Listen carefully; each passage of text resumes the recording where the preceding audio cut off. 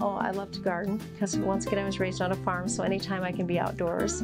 I love animals. I rescue pets, so I do a lot of time with that. And I do like to read. Love to walk. And I love friends, you know, family. I do a lot of family stuff.